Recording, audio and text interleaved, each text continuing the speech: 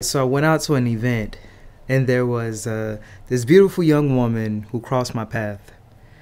Now, we only locked eyes for a brief moment, but in that moment, I felt her energy.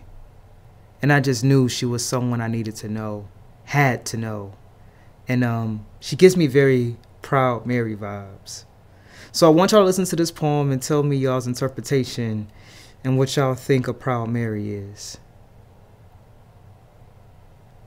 Who is Proud Mary?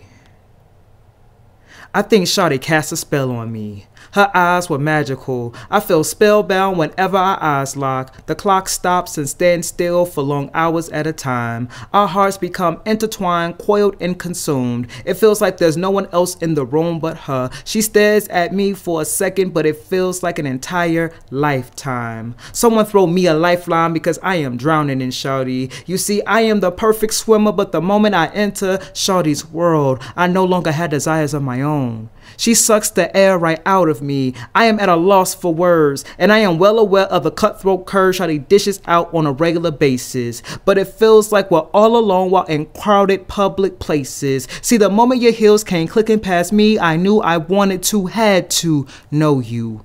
Who was this goddess of a woman gliding past me? I knew she was important, that was for certain. I needed to know who she was.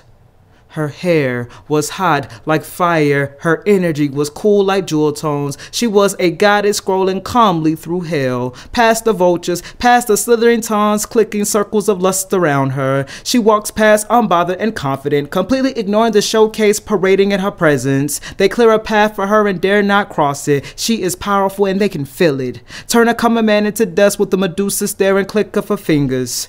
It's unworldly whenever she enters who is Proud Mary.